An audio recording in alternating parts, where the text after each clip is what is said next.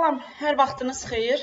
Bir neçə gün əvvəl verilən rəsmi məlumata əsasən 10 min manata qədər verilən güzəştli kreditlərin əldə olunmasında müəyyən asanlıqlar ediləcək. Yəni bundan sonra sahibkarlar bu məbləğə qədər daha asan güzəştli kredit ala biləcəklər. Bu sahədə problemləri, asanların geridə qoyulması, hansı çətinliklər var və digər məsələləri iqtisadçı alim Nazim Bəydəmirli ilə müzakirə edirik. Yayımı paylaşaraq həm bizə dəstək olun, həm də daha çox insan izləməsinə kömək edin. Nazim bəy, hər vaxtınız xeyir. Vaxtınız xeyir. Tamaşaçılarınızı salamlayıram. Nazim bəy, ə, e, ümumiyyətlə ə, e, 10 min manata qədər kreditlərin, güzəştli kreditlərin verilməsində əsas çətinliklər hansı idi ki, sahibkarlar üçün əl çatmaz idi bu məbləğ? Ümumiyyətlə sahibkarlığa ə, e, dəstək büdcə vasitəsilə ə, bunun tarixçəsi uzundur. 2000-ci illərin əvvəllərinə gedir və əvvəlki adı sahibkarlığa kömək milli fondu idi və bu fond vasitəsilə uzun müddət ə, büdcə vəsaitləri sərf olunub və astronomik məbləğlərdə vəsaitlər verilir. E, bunları araşdıranda biz görürdük ki, e, təbii ki, bu PR kampaniya xarakterli addımlar idi, müxtəlif e, nazirlik tərəfindən, yəni nazirlik yanında nazirliklərin adı bir neçə dəyişdiyinə görə həmin İqtisadiyyat, indiki İqtisadiyyat Nazirliyi, o zaman İqtisadi İnkişaf Nazirliyi zamanında başlayıb, sonra onun adı dəyişib İqtisadiyyat və Sənaye Nazirliyi olub, sonra yenə İqtisadiyyat Nazirliyi olub. Yəni bu nazirliyin tərkibində olan sahibkarlığa kömək milli fondu indi İnkişaf və Zəmanət Fondu adlanır. Bu fond e, fondun əsas yarandanda fəlsəfəsi ondan ibarət idi, kiçik sahibkarlığa dəstək olsun kiçik orta sahibkarlığa. Ancaq dəstək ə, əslində biz nəyi müşahidə edirdik? İllər boyu müxtəlif kredit yarmarkaları keçirilərək deyək hər hansı bir holdinqə 3-5 milyon, 10 milyon vəsait verilir. Eyni zamanda bir e, e, rayonda qeydiyyatda olan və yaxud rayon icra hakimiyyətinə yaxın olan hər hansı bir fermerə 10-15 min manat e, e, kredit verilirdi və bunlar nümayiş elətdirir. Mən dəfələrlə bu barədə fikir yürütmüşəm ki, bu əslində e, utanç vericidir. Çünki Azərbaycanda sahibkarlığa münasibət sanki bu prizmadan yanaşılır. E, bir var sahibkarlar hansı ki, məmur sahibkarlığına aiddir. O oligarx nazirlər adlandırdığımız onların e, müxtəlif holdingləri, şirkətləri hansılar ki, zəmanətsiz uzun müddət kreditlər götürürlər həmin fonddan və hər hansı bir e, yerdə olan bir sahibkar, fermer təsərrüfatı e, şəxs e, xırda bir vəsaitə ona mütləq şəhərdə onun daşınmaz əmlakı tələb olunurdu, mütləq girov tələb olunurdu və ilə axır və s. Əslində mən son zamanlar heç buna fikir də vermirəm, müşahidə də etmirəm. Niyə? Çünki bu e, yeni fond e, adını dəyişdikdən sonra mən müraciət etdim yerli filialların birinə, bank filialların, hansı ki müvəkkil banklar olaraq onlar vəsait ayırırlar. Və dedilər cəmi bir il ərzində biz cəmi iki nəfər sahibkara vəsait verə bildik. Yəni, əslində bu dövlət büdcəsi vasitəsilə ayrılan vəsait verilir banklara, müvəkkil banklara. Onlar da ki, müxtəlif sahibkarlarda biznes planlarını e, götürürlər və onlara e, girov müqabilində həmin kreditləri verilir. İndi nə qədər asanlaşdırılır? Əslində hər il e, hökumət e, elan verir ki, filan yerdə filan işləri asanlaşdırmış. Bu asanlaşdırma nə deməkdir? Yəni, e, mən e, bunu anlamıram. Əgər Azərbaycanda kredit faizləri yüksəkdirsə, 15-20 faizdirsə, bunu asanlaşdır və yaxud çətinləşdir. Nə, nə dəyişən nədir? Yəni, dəyişən bir şey deyil. Yəni, yenə də 15 sahibkara vəsait verəcəklər gözüdən pərdə asmaq üçün Ancaq digərlərinə, yəni normal inkişaf etmək üçün məmur sahibkarlığı olan yerdə bunların heç bir dəstəyə ehtiyac yoxdur. Çünki dövlət vəsaitləri sadəcə olaraq müxtəlif qurumlar vasitəsilə mənimsənilmə mexanizmini biz dəfələrlə görmüşük. Aqrobiznesə vəsait ayrılırdı. Kənd Sərvəti İnkişaf Agentliyi var idi. Onlar da kredit verirdi. Sahibkarlığa Kömək Milli Fondu. Ancaq ölkədə dəyişən bir şey olmuyor. Yəni bu qədər vəsaitlərin müqabilində real ə, bazarda, marketlərdə yerli mal istehsalı artmır. Və mən ə, bir neçə il bundan qabaq bir araşdırma aparmışam. O araşdırmanı sizə də göndərirəm. Ə, və o araşdırmada sahibkarlığa kömək milli fondu vasitəsilə verilmiş kreditlərin həcminə baxır və hansı müəssisələrə verilir.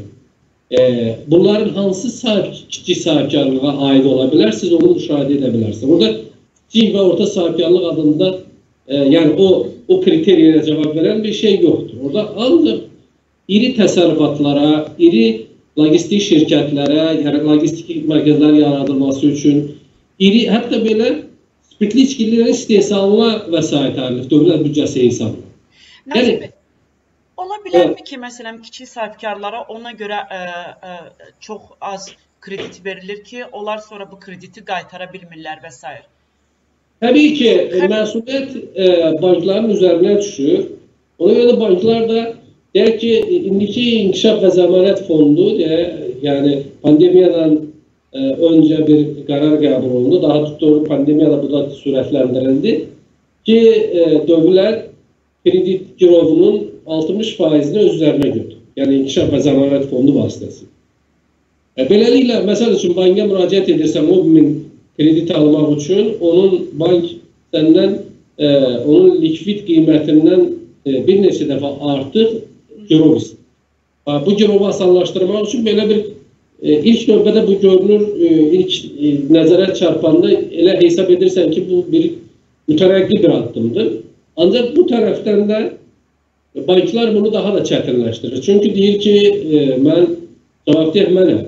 Yəni mən sən vaxtında qaytarmasan vəsaiti, mən inkişaf zəmanət fonduna ödəyəsiyəm. Yəni bir neçə sahibkarlar tanıyıram ki, e, deyək ki, dövlət qurumlarına e, yəni bu kreditləri götürüblər əslində və dövlət şirkətlərinə, SOKAR olsun, e, böyük şirkətlər olsun, dövlət satın almalarında iştirak edirlər, mal məhsul veriblər. Ancaq onların o mal məhsulun vəsaitini ödəmir, dövlət ödəmir dövlət şirkətləri. Bu tərəfdən də bank sıxışdırır ki, sən bu vəsaiti ödəməlisən.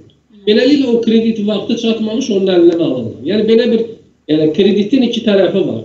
Borc götürən var, borc verən var. Bunların arasında tənzimlənmə, yəni mülki məcəllələr o qədər zəifdir ki, dövlətin vəsaitini qaytarıb qaytarmayanda sahibkarın boğazına çökülür. Necə ki, beynəlxalq bank kreditləri var idi. E, yəni 10 milyardlarla vəsait mənimsəlirdi orada. Yəni səhv etmirəmsə 12 milyard idi, nə qədər idi vəsait mənimsəlilib kreditlər vasitəsilə. E, və bunların bir çoxu da belə e, şirkət gedir o tələyə düşür.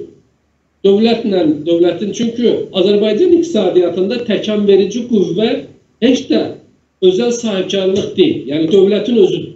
Dövlət nə edir? E, dövlət büdcəsindən ildə 7-8 milyard bəzən çox vəsait ayırır ə, e, əsaslı vəsait qoyuluşuna, yol çəkilişi olsun, elektrik təchizatı olsun, müxtəlif körpü tikindi, digər tikindi. Burada bir çox şirkətlər iştirak edir. Eyni zamanda Sokar ən böyük milli şirkət e, ildə 3-4 milyard manatlıq satın almalar həyata keçirir. Və şübhəsiz ki, burada bir sıra e, şəxsi özəl şirkətlər burada iştirak edirlər. Müxtəlif e, məhsul verirlər, müxtəlif iş görürlər və onların pulları gecikdirirlər. Bunlar da kredit götürüb o işi həyata keçirirlər. Yəni, ümid edirlər ki, dövlətin ucuz verdiyi kreditdən yararlanıb hər hansı bir iş görəcəklər.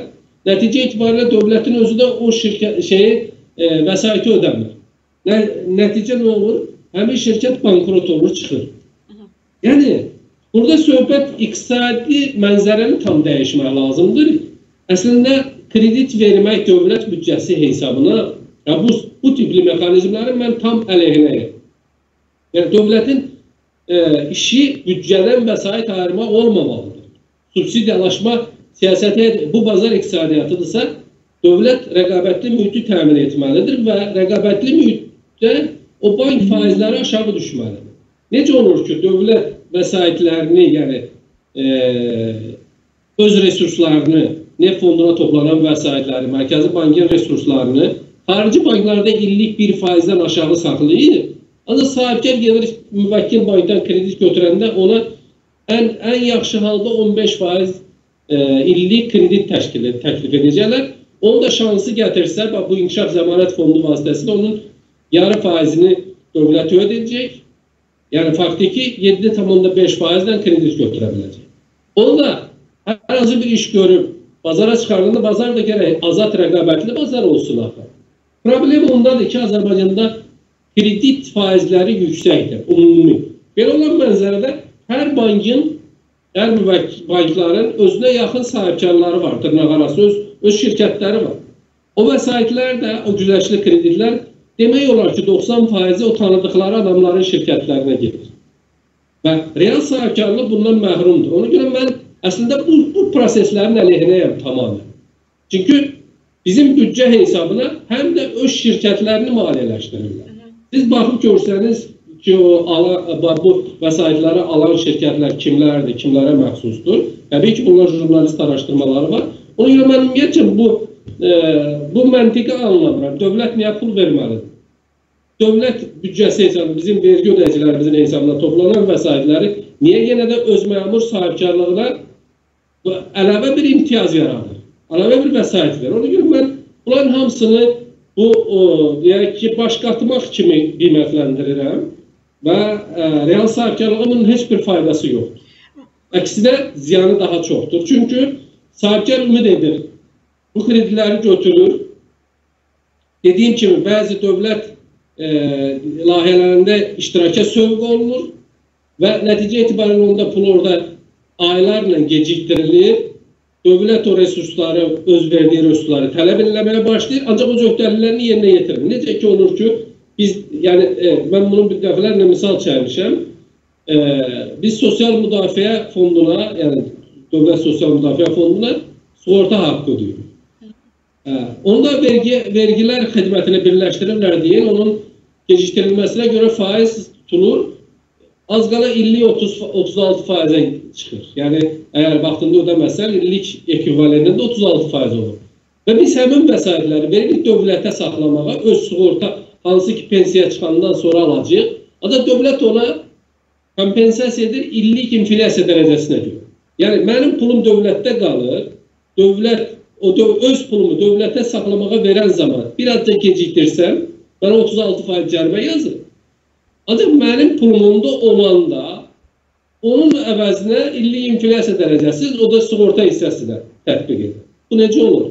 Yəni illik inflyasiya dərəcəsində hökumət e, məqsədli aşağı elan edir dövlət statistikası ki, aşağı kompensasiya versin. Yəni beləliklə bizim ölkəmizdə dövlət əslində iqtisadi fəaliyyətlə məşğuldur, bazar iqtisadiyyatının tələblərinə zidd olaraq və belə ölkədə hər hansı bir real sahibkarlıqdan danışmaq yersizdir. Yəni əmin olun ona.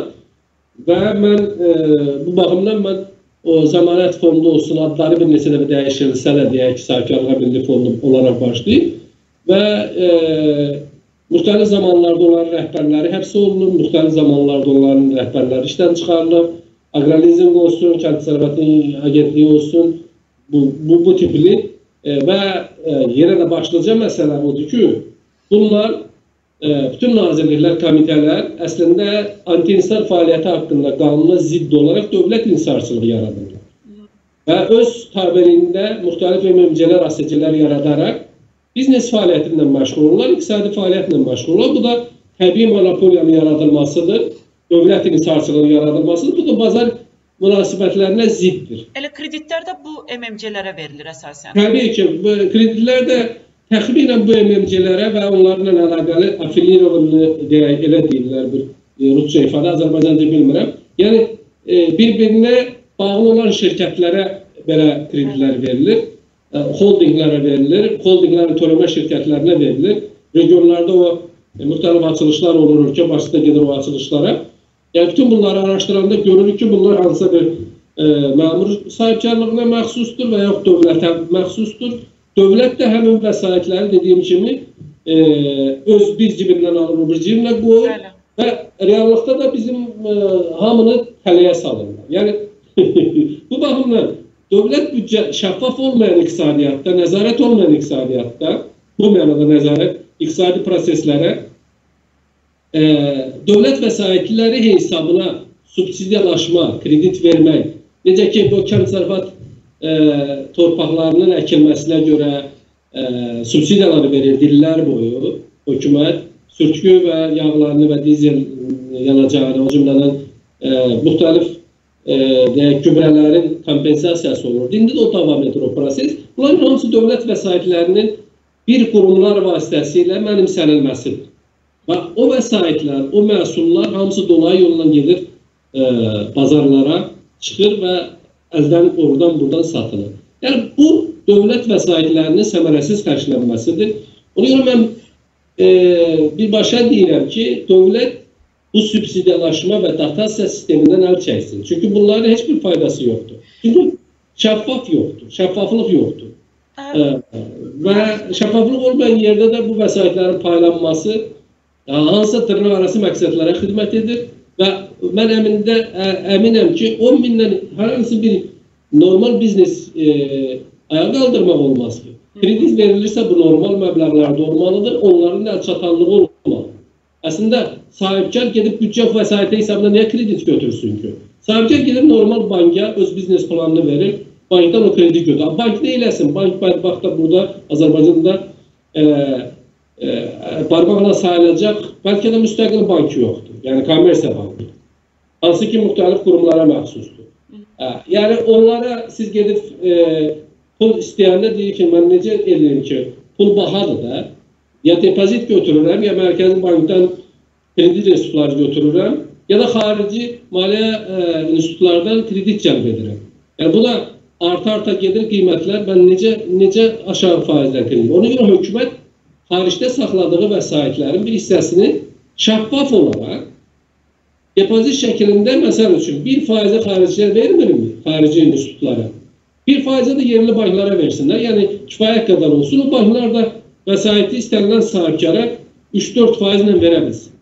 E, çünki mən sahibkar olaraq 15-20 faizə kredit götürərək hər hansı bir məhsul istehsal edib xarici sahibkarla, yəni Almaniya sahibkarından nə cür rəqabət apara bilərəm? O krediti 1 faizlə alır illik ya daha daha böyük e, e, həcmdə ona imkanlar e, ki, yaradıb e, Almaniya hökuməti və ya digər. E, biz nə elə bilərik? Yəni burada sırf problemin kökü monopoliya bağlıdır, məmur sahibkarlığına bağlıdır və dövlət büdcəsindən də ayrılan vəsaitlər sırf məmur sahibkarlığının məqsədinə xidmət edir. Mən xahiş edirəm, mən sizə göndərdiyim, paylaşdığım həmin materialları siz qoyun, e, e, deyək ki, e, bu şəkildə baxın, görün, görün nə qədər vəsait hansı hansı e, yerlərə ayrılır və bu vəsaitlər e, Azərbaycan iqtisadiyyatına necə xidmət edir? Dırnaq arası xidmət edir. Aydındır. Demək, siz də təsdiqləyirsiniz ki, 10 min manata qədər əslində o deyilir ki, bu kreditlərin verilməsi asanlaşacaq. Əslində 10 min manata kimi də sahibkar pul götürüb hər hansı bir biznes qura bilməz və böyük kreditlər isə əsasən özlərinə bağlı olan MMC-lərə verilir və s. Bank məsələsinə toxundunuz. Mən bu haqqda biraz Google etmişəm və bununla bağlı sizin bir açıqlamalarınız da var. Azərbaycanda demək fərdi şəxslərin bank yaratma problemi var. Nə üçün bank yəni fərdi şəxs bank yarada bilmir? Bunun üçün nə lazımdır? Ki, məsələn, bu bank yaransın, bu kimi sahibkarlar da həmin bankdan istifadə edə bilsinlər, yararlana bilsinlər. Yəni e, qeyd edim ki, Mərkəzi Bank e, bilirsiniz lisenziya verir kommersiya bank yaradılmasına. Mərkəzi Bankın da müxtəlif tələbləri var. E, səhv etmirəmsə nizamnamə kapital 50 milyon manat e, məbləğində olmalıdır. Və e, bir neçə banklar ə, bu tələbi yerinə yetirmədiyinə görə yaxınlarda bağlanır. Əksəriyyəti də əslində əmanət qəbul edirdi və əmanətçilər də ə, bağlanan bankların bir çoxu bilirsiniz, MBC Bank, Standart Bank, Azərqaz Bank, ə, bir çox banklar hansılar ki, ə, əmanətlər cəlb edilmişdir. Əmanətlər də indiyə qədər də mübahisələr gedir, məhkəmələr gedir, insanların əhalinin əmanətləri qaytarılır. Yəni Bankların özlərinə bir nəzarət funksiyası, əslində bu bankların da mütləq əksəriyyəti dediyim kimi e, məmur sahibkarlığına məxsusdur. Və ə, məmur sahibkarlığına məxsus olan banklar da ə, yəni alicə bir şəxslər kimlərsə bank yaratmaq üçün ə, müraciət etsələr də belə pulları olsalar da belə əslində bu belə vəsaitlərin olması indiki zamanda real sahibkarlığa aiddir. Yəni məmurun ola bilər. Təbii ki, o bank yaratmaq eşqinə düşsə, ondan da sorğu sual edərlər ki, bu pulları hardan almısan? Qeyri-rəsmi söhbət gedir. Və zamanında bu banklar yaradılmışdı daha ə, münasib olan vaxtlar. İndi isə ə, təbii ki, mən ə, ə, Azərbaycanda bir məsələ var. Rəqabət ə, nə cür yaranır? Əgər güclü banklar yoxdursa, xarici banklardan gedir söhbət. Xarici bankların Azərbaycan bazarına girişi məhdudlaşdırılır. Yəni ə, rəsmi olaraq ə, bir neçə bank var idi əvvəllər. Onlar da müxtəlif ə, məsəl üçün Ziraət Bankı onun faizlərini aldılar, verdilər yerli banklara. Türkiyə Bankı idi.